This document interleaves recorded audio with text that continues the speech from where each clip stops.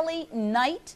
Uh, you live in the complex where all of this went down, and you witnessed the arrest. Describe for me what it was like when cops came in and went after this suspect, Ryan Brunn. It was very surreal.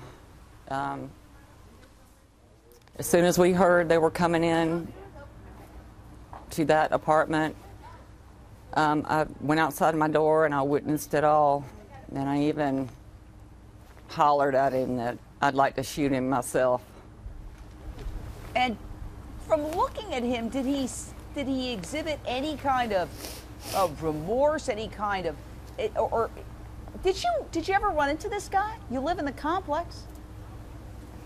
He hasn't been there very long, and the few times I saw him, he appeared very odd, very standoffish. Um, he always had his head down, wouldn't make eye contact. When he waved, he wouldn't raise his hand, and that was when I would wave to him first. Um, yeah. And like I said, I didn't see him very often, but the few times I did, he struck me as very strange. How do the mothers and fathers in this complex and the surrounding community feel tonight that cops say they have mammoth evidence against this individual?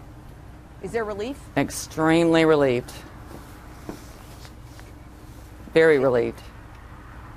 Yeah. And what did what were people yelling as he as he was arrested? Apparently people were saying things. I know you said something. What else was said?